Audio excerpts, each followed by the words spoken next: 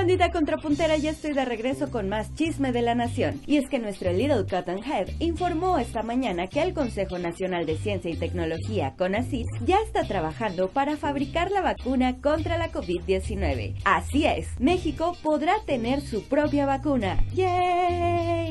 Volvieron.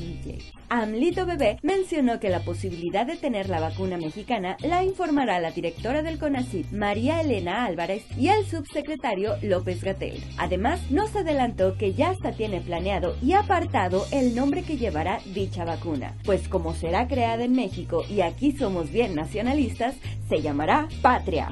Muy bonito países del primer mundo, pero ya no los necesitamos, porque nosotros tenemos nuestra patria.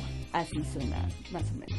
Y bueno, bandita, eso fue todo por el día de hoy. Los invito a seguirme en mis redes contrapunteras como Maya Andrade News, en Instagram y en Facebook. No olviden compartir esta información y darnos mucho amor para Contrapunto News. Yo soy Maya Andrade, los amo, bye.